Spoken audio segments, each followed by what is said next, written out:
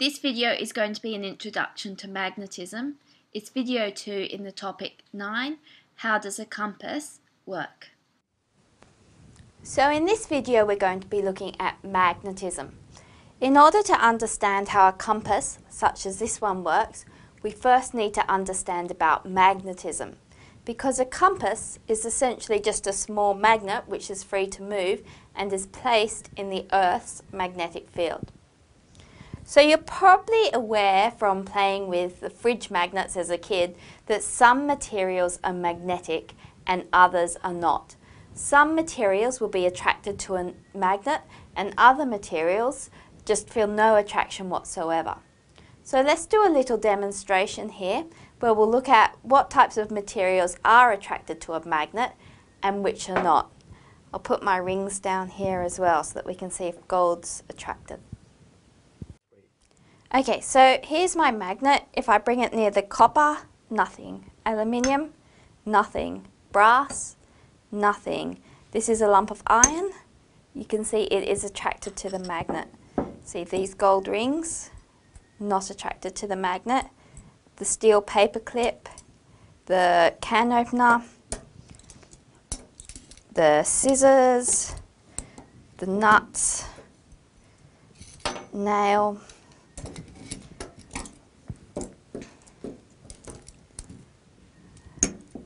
or get attracted to the magnet. So these materials have something in common with each other. So iron, cobalt and nickel are all what's called ferromagnetic materials. Ferromagnetic materials tend to be strongly attracted to magnets. Now, why this is is a bit beyond the scope of the course, but basically it comes down to the arrangement of the electrons inside these atoms. An atom of iron has an unpaired electron, and this unpaired electron in its outer shell acts as a kind of mini magnet inside the iron atom and will try and align that iron atom with the magnetic field. So let's consider what magnets look like inside, or at least magnetic materials, such as this chunk of iron here. We can imagine this chunk of iron as broken into a whole lot of little domains, as shown in this diagram here. Now, if there's no magnetic field around, then these domains all act as kind of mini magnets on their own, and they're all randomly aligned. However, if we bring a magnet, such as this one, near the iron, then the domains inside that iron try to align, so up to this magnetic field. Now if I remove the magnet from the lump of iron, it tends to go back to normal. The domains go back to being randomly aligned.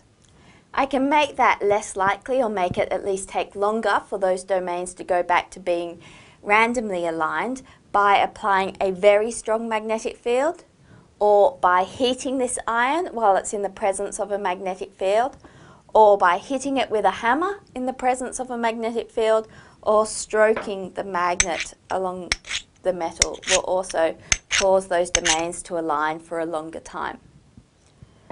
So why do the domains align this way? Why do tiny magnets try to line up with a magnetic field?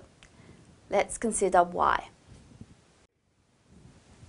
Now earlier in this course, in the very first topic, we, when we were considering how street lights worked, we considered Coulomb's law, which told us about the forces between charged particles. Now there's a lot of symmetries between how magnets work and how charged particles work. And this symmetry is actually very deeply embedded in the physics. Maxwell showed that electricity or electrical forces and magnetic forces were actually two parts of the same combined theory of electromagnetism, which was a big leap forwards in physics. So these symmetries are important. So let's discuss what some of the symmetries are now. For electric charges, we saw Coulomb's law described the size of the force between two particles, but it also said that if we have two like charges, then they repel each other, whereas if we have two unlike charges, then they attract each other. Let's have a look at what happens when we bring like and unlike poles of two magnets together now. What I have here is two magnets. We've got a north pole here and a north pole here. Now let's look at how this magnet behaves when I bring this north pole towards this north pole. You can see it's repelling this north pole. The magnet is trying to move away so that the north poles are not together. Now, this is the south pole of this magnet. Let's try bringing the south pole of this magnet towards the north pole of this magnet. You can see in this case, they attract each other.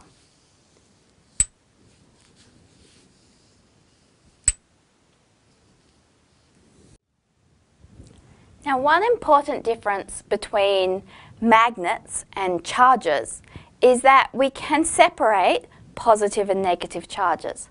It takes energy, we have to put work in in order to separate them, but it's possible. Magnets are a bit different.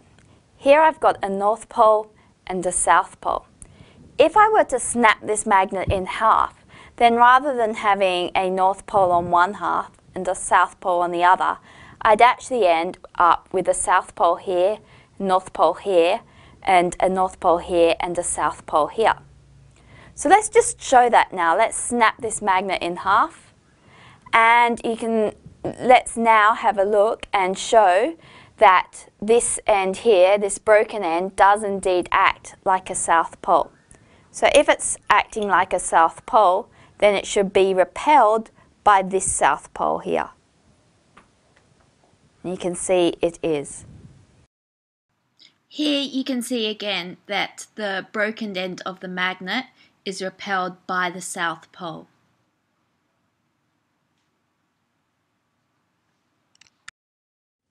Now a useful way to visualize magnetic fields is by drawing magnetic field lines. We can draw magnetic field lines around a bar magnet like in this diagram up here. Notice that the magnetic field lines are drawn coming out of the North Pole and into the South Pole. The magnetic field lines continue through the centre of the bar magnet. This is why if we snap the bar magnet in half, we end up with a new set of two poles. Now if we want to see magnetic field lines, we can see them by sprinkling some iron filings on top of a magnet. So let's do that now. So this is the north pole of my magnet. I've put a sheet of Perspex over the top of the magnet.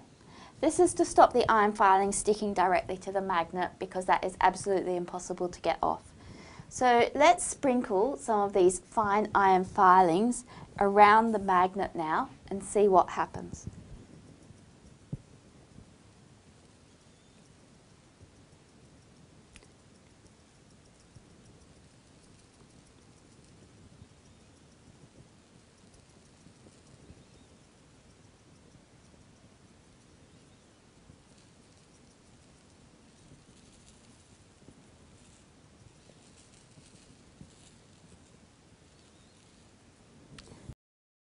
You can see the iron filings aligning themselves like we drew with the magnetic field lines around the magnet.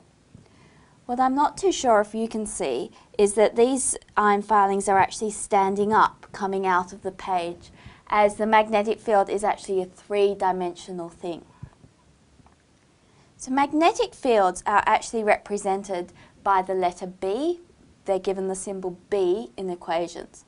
Magnetic fields are vectors. They've got a direction, as we've shown in our diagram of magnetic field lines. The units for magnetic field are Tesla. So drawing magnetic field lines in this way allows us to understand or at least visualize another important aspect of magnets. As we saw when we brought the two magnets together with their like poles towards each other, they felt a force away from each other, and they felt this force even at a distance. So in order for magnets to feel forces, they don't need to be touching. That force field extends through space and so magnets can affect each other from a distance.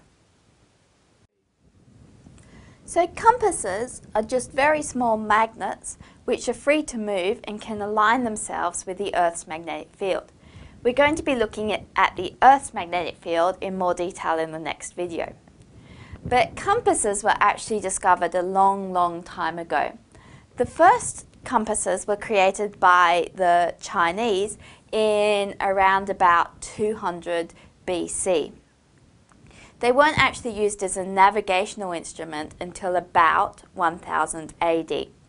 But the simplest magnets, or the oldest magnets, were just magnetic minerals such as lodestone, and these were put in a situation such that they were free to move, so that they could align with the Earth's magnetic field.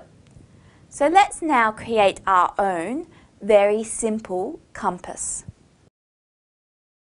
So the first step in creating our compass is to magnetize our paperclip. So we can do that just by stroking it against the North Pole for a minute. So this should align some of the magnetic domains in that paperclip so that it's now magnetized. Now the second step is a bit tricky. I've got to float this paperclip on this beaker of water.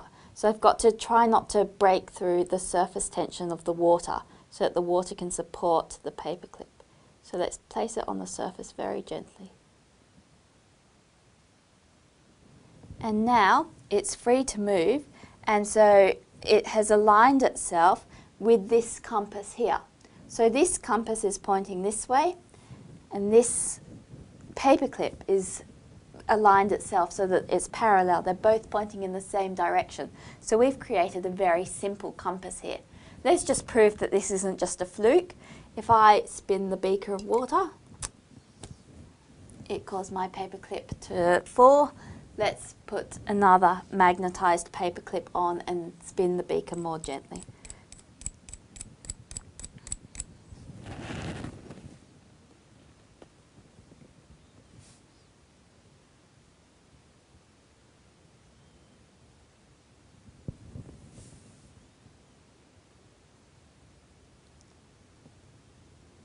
You can see it's spinning, and then it's spinning back and aligning itself so that it's parallel to this compass down here.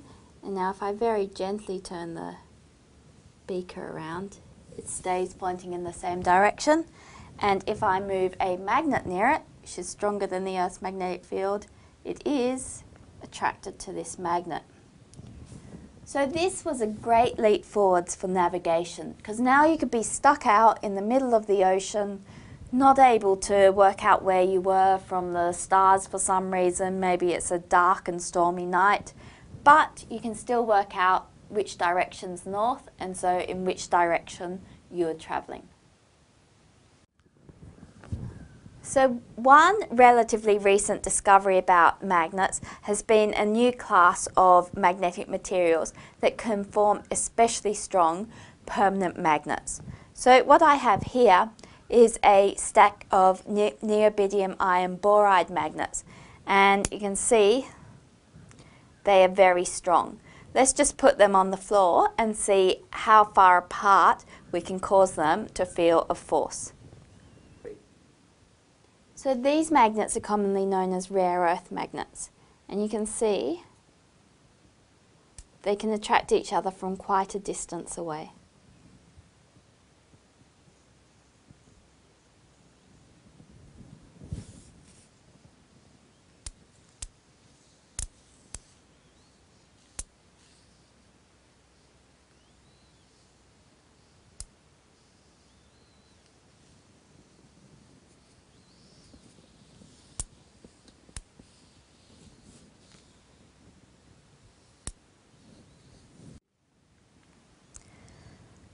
So for navigation these days, compasses like these ones have been superseded by GPSs. So this is because you can get a much more accurate idea of both your latitude and your longitude from a GPS system. It can pinpoint your location to within a metre or so. In this video we've seen that ferromagnets are a class of materials including iron, nickel and cobalt that feel a force when placed in a magnetic field.